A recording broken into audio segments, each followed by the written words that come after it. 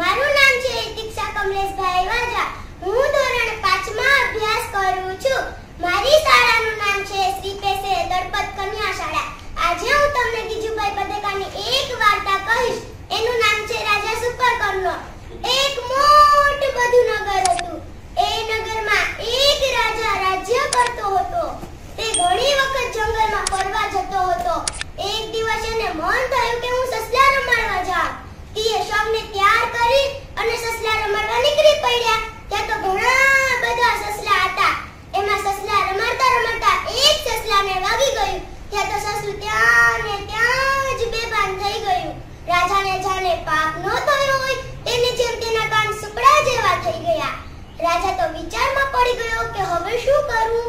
હવે શું કરું?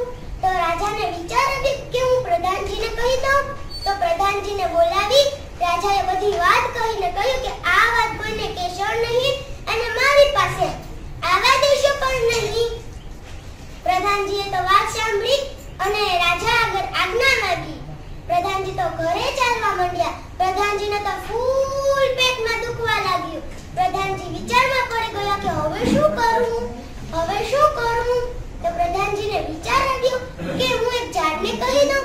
ઝાડ થોડું કંઈ કહેવાનું લાગશે.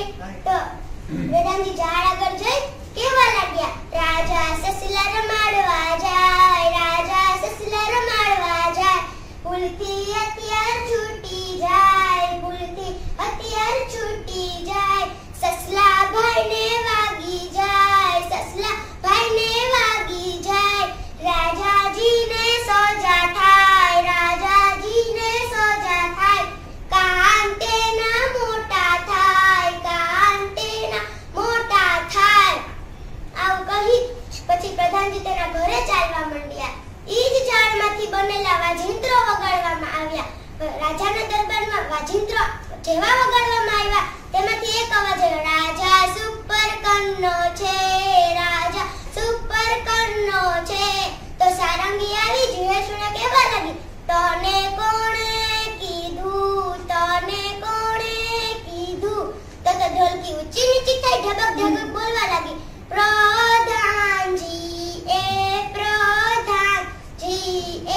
રાજા તો સમજી ગયો અને એ પ્રધાનજીને બોલાવ્યા. બધી વાત પ્રધાનજીને કહી કે મારા કામ વિશે તમે કોઈને વાત કહી હતી? તો પ્રધાનજી તો હાથ જોડીને બિનતી કહીને કહેવા લાગ્યા કે મેં મોઢે મોઢ તો કોઈને નથી કીધું, ફક્ત એક ઝાડને કહ્યું હતું. મને શું ખબર કે ઈ ઝાડમાંથી બનેલા વાજિંત્ર વગાડવામાં આવશે? પછી રાજા તો સમજી ગયો અને એને પરવા પસ્તાવો થયો કે એ એ નિયમ લીધો કે આજ પછી હું કોઈ દી કોઈ કુદરતી વસ્તુને હાનિ નહીં પહોંચાડી. રાજાએ લીધેલા નિયમ પછી થોડા